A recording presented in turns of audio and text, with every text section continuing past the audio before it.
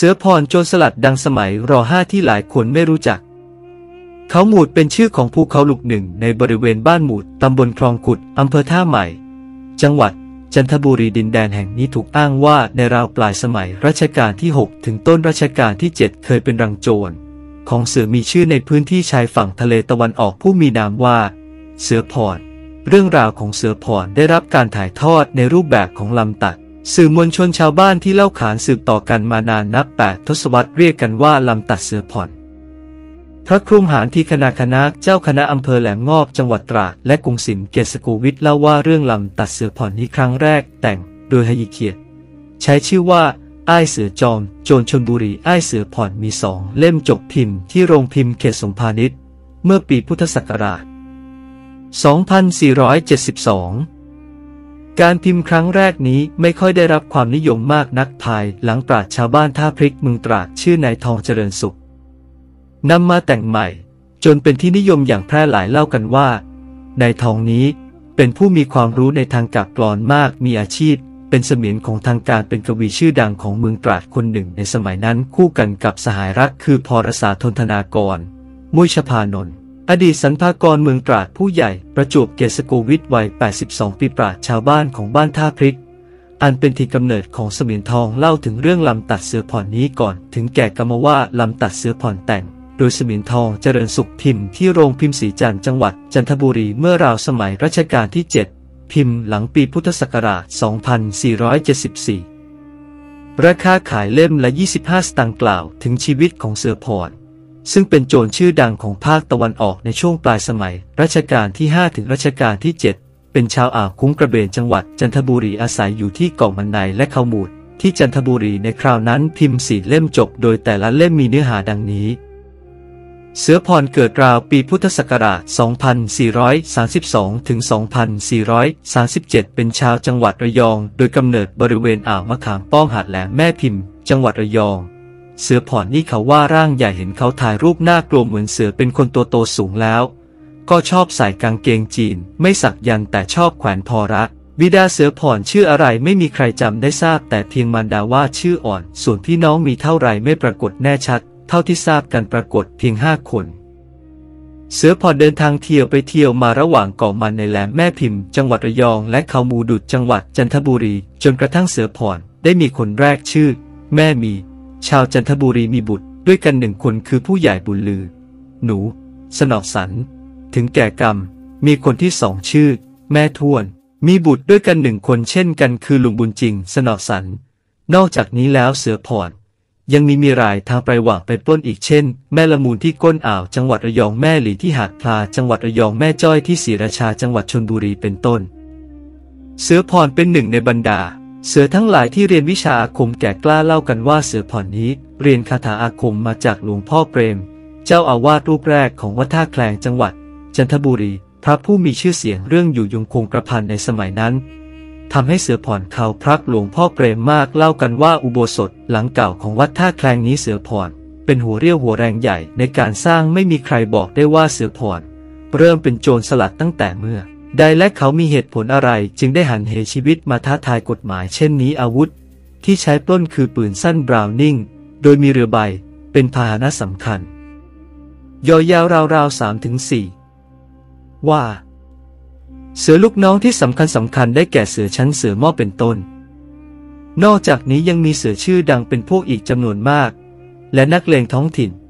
เช่นที่เมืองตราดเล่ากันว่าเสือผ่อนมีเพื่อนชื่อผู้ใหญ่ จีดเป็นผู้ใหญ่บ้านที่เกาะช้างดังปรากฏในลำตัดเสือผ่อนว่าเสือผ่อนมาปล้นถึงที่เกาะช้างกองหมาก รวมทั้งมีเพื่อนโจรสลัดอยู่ที่นี่จำนวนมาก ดังปรากฏในตอนที่เสือผ่อนมาเชิญเพื่อนไปร่วมงานกวนจุกหลานสาวความว่าก่อช้างเพื่อนมากก่อหมักเพื่อนจัง ถึงเกาะกงเขตฝรั่งจึงมีคำสั่งส่งไปอ่าวช่อธรรมชาติจังหวัดตราดเพื่อนฝูง เชิญมาบำรุงแต่ล้วนพวกฝูงสหาย เวลาเสือผ่อนจะออกไปปล้นมักจะไปกับลูกน้องประมาณ 4-5 คน ซึ่งก่อนจะไปปล้นเสือผ่อน จะดูเลิกยามก่อนออกปล้น และมีพิธีบวงสรวงเทวดาทุกครั้ง เพื่อความเป็นสิริมงคลวิธีการปล้นนอของเสือผ่อนนี้ปล้นทั้งบนบก และในน้ำโดยมากมักปล้นบ้านเรือนบนเกาะหรือชายฝั่งที่ติดทะเลเนื่องจากมีเรือใบ เป็นพาหนะสำคัญผู้เท่าหลายคนที่ได้ยินได้ฟังเรื่อง เสือพรจากบรรพบุรุษต่างเล่าเป็นเสียงเดียวกันว่าเสือพรนี้ เวลาปล้นนี้ดุร้ายมาก ข้าไม่เลือกครั้งหนึ่ง เคยไปปล้นบ้านคาบดีที่เกาะช้างได้เงิน และทองไปมาก แต่ก็ไม่ไหวที่จะปลิดชีวิตเจ้าบ้าน และลูกน้อยหรือตอนไปปล้นที่เกาะหมาก ซึ่งเป็นเกาะของเจ้าสัวเสงหรือพระประเสริฐวานิชที่ถูกเสือผ่อน แวะมาปล้นอยู่บ่อยครั้งเป็นเหตุให้ภายหลังเจ้าสัวเสง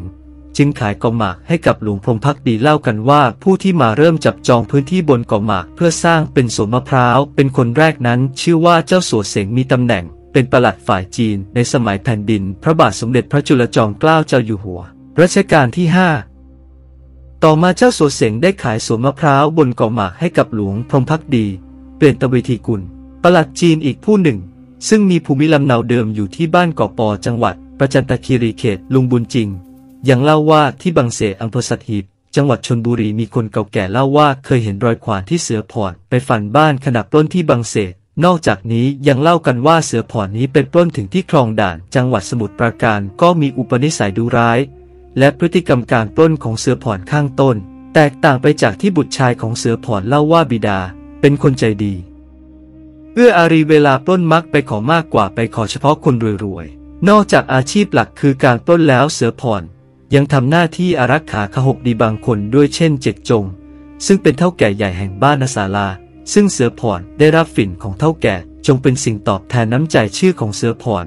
เป็นที่ยำเกรงและเกรงกลัวของคนทั่วไป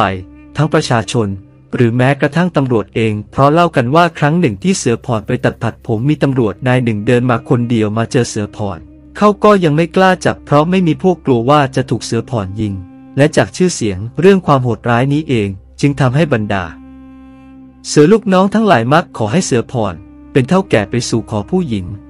ให้เพราะไปขอใครก็ยกให้เนื่องจากต่างก็กลัวเสือผ่อน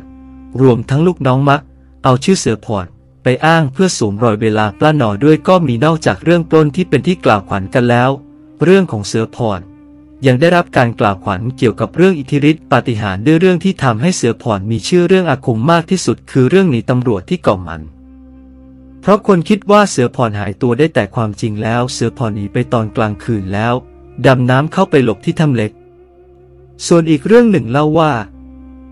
ครั้งหนึ่งเคยใช้ขอนไม้ข้ามทะเลไปกาะมันแล้ว มีปลาโลมาคุ้มกันไปสองข้างขณะไปเชื่อกันว่า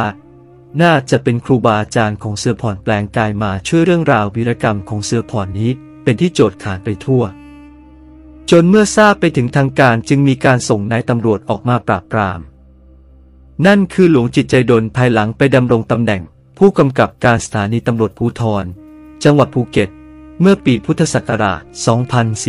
2483 ถึง 2484 อย่างไรก็ตาม ในประวัติของพลตำรวจตรีคุณพัทรรักษ์ราชเดชอดีต ผู้บังคับการตำรวจภูธรเขกต่อ 8 นายตำรวจชาวเมืองนครศรีธรรมราช ที่เป็นที่รู้จัก และยอมรับกันทั่วไปในภาค ใต้และในจังหวัดอื่นนอนอในฝีมือการปราบปราม โจรผู้ร้ายในประวัติของ ท่านขุน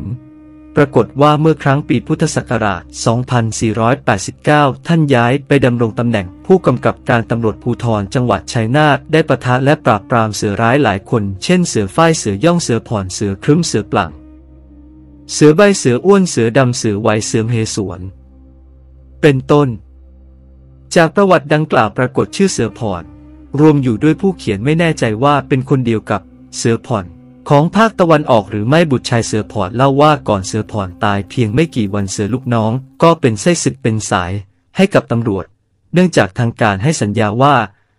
หากเป็นสายให้แล้วจะผ่อนผันโทษ ให้เสือลูกน้องของเสือผ่อนนี้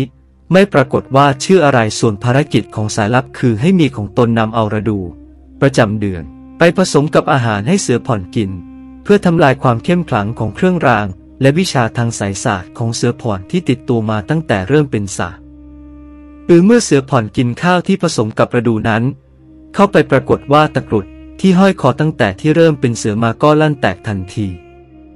จึงได้รู้ว่าวิชาอาคมที่ได้ร่ำเรียนมาสูญสิ้นแล้ว ความคงกระพันฟันแทงไม่เข้าก็เสื่อม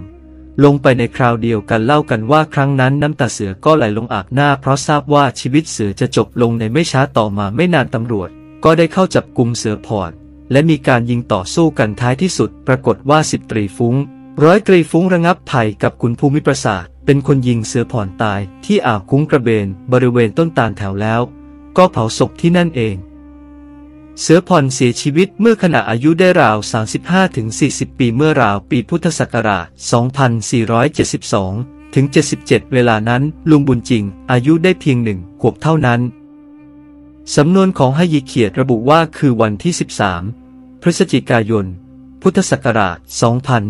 2472 สำหรับที่ดินที่เกาะมันในจังหวัดระยองที่เป็นสมบัติของเสือผ่อนนั้นภาย หลังทานยาทอได้น้อมกล้าวน้อมกระหม่อมถวายแด่พระบาทสมเด็จพระเจ้าอยู่หัวรัชกาลที่ 9 เรื่องราวของเสือผ่อนตำนานจอมโจรภาคตะวันออกได้รับการกล่าวขวัญสืบต่อกันมาจากรุ่นต่อรุ่น ซึ่งหากมองในทัศนะของโจรก็อาจกล่าวได้ว่าเสือผ่อนประสบความสำเร็จ ควรค่าแก่ดุษฎีบัณฑิต สาขามหาโจร จนอาจทำให้ลำตัดเสือผ่อนกลายเป็น มหากาบแห่งมหาโจร